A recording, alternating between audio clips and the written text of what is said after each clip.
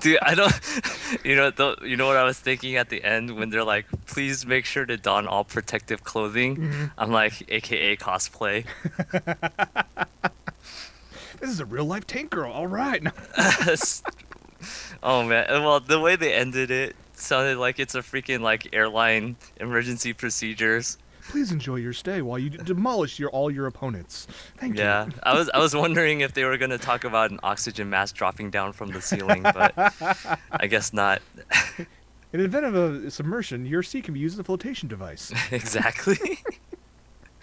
and of course, if you there's actually several other videos out there. Um, Mhm. A couple of the um, the actual unveiling of it. And what was interesting, in order to showcase some of the features of the uh, the robot, they actually had one of those um, AR drones fly around Mhm. it, and it was like tracking it in real time and whatnot. Oh, very nice. Uh, there's another Nice. promotional video that talks about all the accessories you can put onto your mech. Well, I think I think all you need is smile shot. yeah, that was the best thing about it. Uh, you could uh, automatically fire just by smiling. So you be a can little bit just psychotic to, to, to drive this then. Uh, yeah, exactly.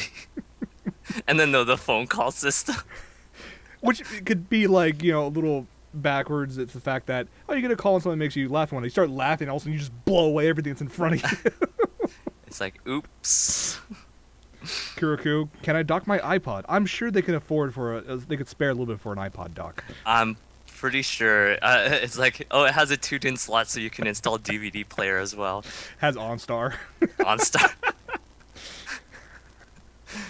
Oh, Um, then, of course, if you want this, you can get it for the low, low price of 100 million yen, or current re- uh, rates 1.27 million dollars. Um, Which for uh, an actual like four meter mech, I mean, you know, this is like something that you could see like a billionaire just want to have just just for just for kicks.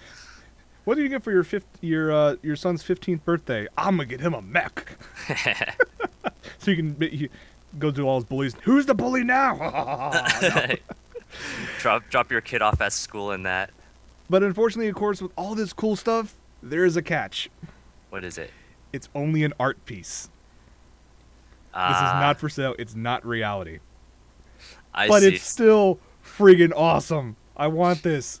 So so all the videos are just mainly just kind of as a ad like uh, or just a little tongue-in-cheek, you know, comedy. Right. I mean, yes, they are still building it and whatnot. That's why it shoots BBs and uh, water uh, water, bottles. bottle Yeah. rockets. Yeah. So the fact that they're still going to probably work on this and you know make it a little more mobile and whatnot, but Right. it's not for sale. It's nothing for anything fancy, but it's considered an art piece for Right. now. For now. Knowing those those Japan, you know, I could totally see like Japan National Defense going. We'd like you to create an art piece for us. Uh, the same thing, make it mobile and give us a thousand. Yeah, we'll call it an art piece. We'll make it an exhibition. We'll uh, fly over to um, I don't know South Korea and then you know. No. So we'll we'll see what happens with that. But it's just stuff like that that I just see that's just amazing. It just it Yeah. blows my mind. yeah, always fun. Wow, we've actually gone for about an hour now, so Yeah. a lot of stuff to talk about. It's been a blast having you on the show, Bryan. Yes. Good to hang out yes. again. No, Um, definitely. Uh, how, what else have you been doing with your DJ performances? Anything like Uh, else coming up, or Let's let's see. Um, so the next one I have that I know for sure is happening is in two weeks in Kansas City, Missouri, Mhm. uh, and it's at a convention called Motaku. Uh, and actually, uh, if if you have that picture up there, um, yeah, let me grab that the, the flyer, uh, one of uh, the one of uh, my friends out that lives out there and who's also a DJ uh, is actually drew this flyer uh, to promote dance at Motaku, and I'm I'm really flattered by it. Like that, you know, he would go through and. It's a pretty epic pick. yeah, no, seriously. And so, um, you know, that's supposed to be me on the left, and then uh, he, since he's like, uh, uh, uh, like a Vocaloid uh, DJ, he, uh, so that's Miku on the right to represent him, and then I'm presuming the other two uh, in the middle are for the uh, other, uh, are for the other two DJs. Mhm. So uh, yeah, Ryoko, and I actually don't remember who the last one is. See if it says on the, the bottoms. It does not. Yeah. Still looks But- cute though. Yes, no, it's and very awesome. So, uh, and you know, I do hope to take uh, recordings of all the performances there. So, Mhm. um, when I get back from there on my uh, radio show, you'll you'll uh, chances are very good that I'll be playing replays from that. Gotcha. And of course, you can follow him on both of his Twitter, um, Preyx and then DJ Preyx. Yes, and uh, yeah, I announced the stream on uh, at D- uh, actually on both Twitter accounts. So uh, if you're curious, uh, just just follow those Twitter accounts and uh, just wait or, wait till Friday, and you'll see tweets about it. Awesome. Very cool. Well, yeah, I think it was a good time to wrap this up. It's like I said, it's been a blast having you on, Bryan. You're welcome to jump back on anytime.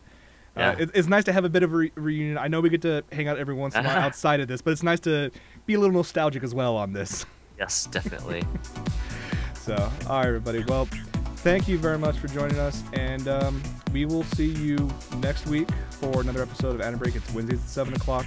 Don't forget, this Friday, we have another episode of From Our Mother's Basement, and Reunion Week continues then because we'll have the great Courtney Kraft joining us on that one. So, yes, say hi to her for me. we'll de- definitely do. We'll have to get together and, like, go get a drink or something soon because we're all semi local still, so. That's true. All right, everybody. Well, thank you very much for joining us, and uh, stick around. We might have a little bit of a post show, but uh, thank you very much. Talk to you later.